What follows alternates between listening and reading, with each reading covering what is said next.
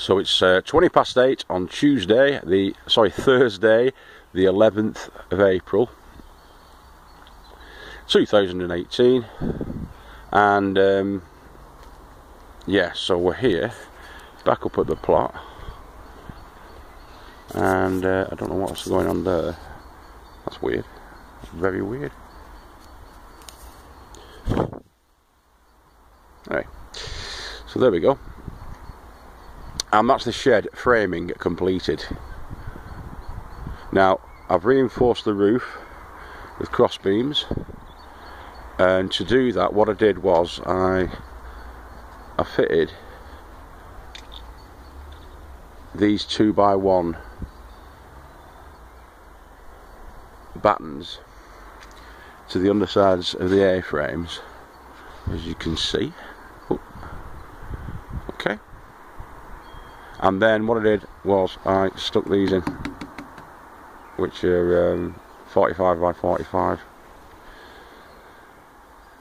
it's the same wood that I did the A-frame with so what, what happens with that one then is it fits nice and snugly and it doesn't stand proud at all.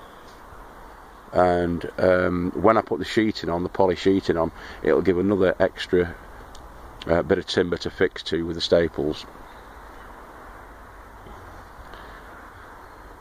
yeah. And the benches are in. All the benches are in. So that's just a bit of trellis in there it was it was off a um, a cot bed of our James's. Uh, but yeah the benches are in.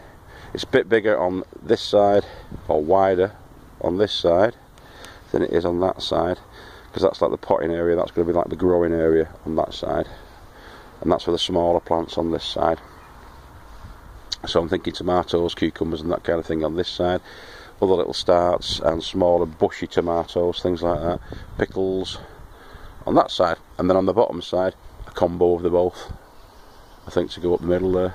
Well, that's where the vents go in, that little window. That's where the screen vent is going.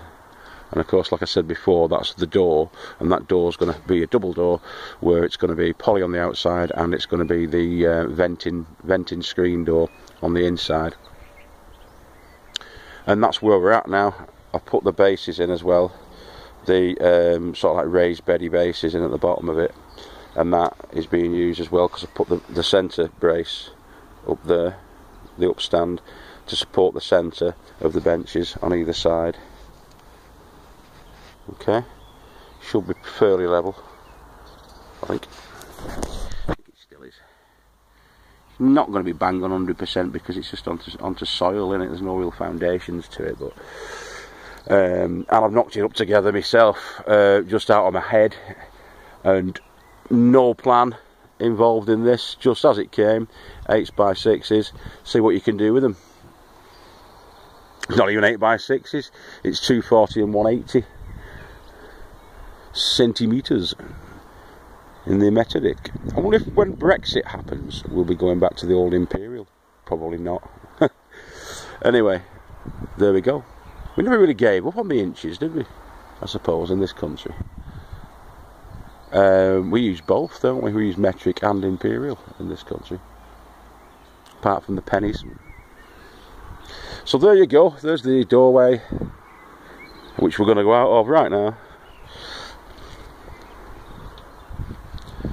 And that's that. I'm debating with the idea of putting some more uprights in between those two sort of bays there because there's like three uprights there. I'm thinking about putting a couple more in maybe for more fixing for the poly, but I don't know whether it'll need it. I don't think it probably will need it to be honest.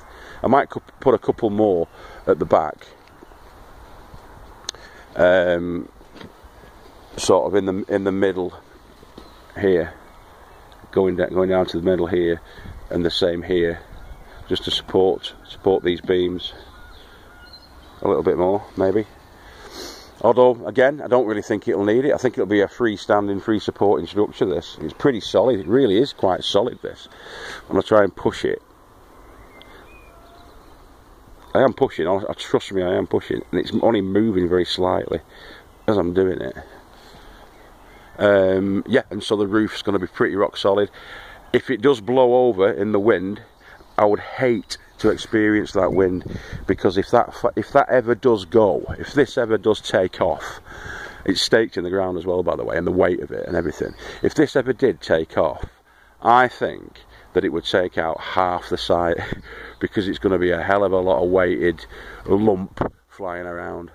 Um, so I mean, even with the sheeting on, it's it, it's very stable. It's not going anywhere. That you take a hurricane, a really bad hurricane, to shift that thing, and we don't tend to get that kind of weather over here in the UK. So uh, yeah, I'm thinking that's going to last quite a while. I'm going to I'm going to stain it up tomorrow with um, that one coat fence life stuff from Ronseal, which is what I've sort of half done anyway on the framing.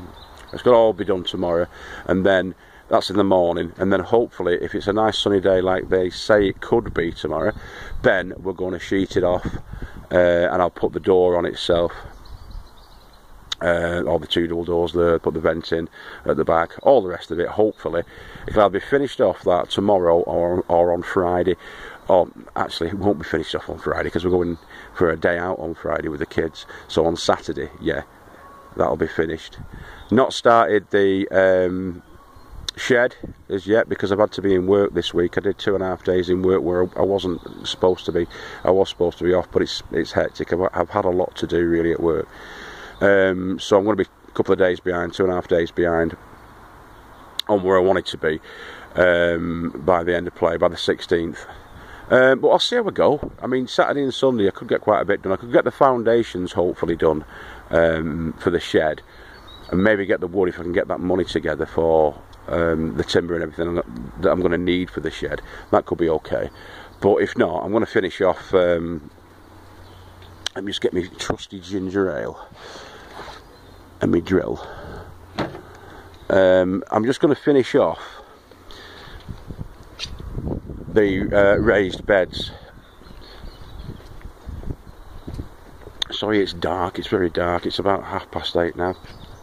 Um, so yeah, I'm going to finish these off, same as I did over there with that netting, that screen netting. That's going to go on. Um, and maybe I'm going to do the um, chicken wire as well that we spoke about a couple of episodes ago, the chicken wire on it. Uh, we'll see how it goes though. I mean, this screen netting's probably going to provide enough protection from the bugs. And Mr. Fox hasn't been down since, um, so that's good. But we'll just see. We'll just see. I'll play it by ear. These have grown quite a bit. Look at these. Rhubarb. I'm going to shift this rubbish as well. I'm going to try and tidy up a little bit as well. But yeah, it's definitely coming along. Okay. So you probably can't see the shed now. It's up there. Um, sorry, the shed. The greenhouse. Probably not, can't see the greenhouse now. It's too dark. Um, but yeah, that's where we're at. And we've got the buds coming on our red currant bushes, of which there are at least four. One, two, three, and four. Joe was saying the two, um, the two bushy, you want to clip them back and get more growth. So I don't know. I'm gonna, I maybe have to do that. Um, and there's another little one down here as well, which I'm not sure whether it's one of it's the same sort as the red currant bush, bushes, but there's definitely another fruit bush there and there's the the little blueberry bush which might not produce anything this year. And will need to be planted in its own planter with eritaceous soil. I'm probably getting that wrong but it's it's uh, acidic soil which has got to be a pH of around about 5 which is an acidic soil. That's what that needs. These raised beds these strawberry beds are coming out. I'm going to take these out. I'm going to save as many of these um, um, creeping strawberries that are just coming on down there as little plants. But it's definitely coming out as is this one as is the big brick one. And I'm going to use um, quite a few of those bricks that I can salvage to use for the base of the shed. So that's the that is the plan for these ones. I'm going to shift them out and I'm going to put um, probably five eight by two rows down here going horizontally down here rather than this one. I know they're all going horizontally, but you know what I mean. Going along the fence line, if you, if you like, going this way. And there we go. Thanks very much for tuning in again.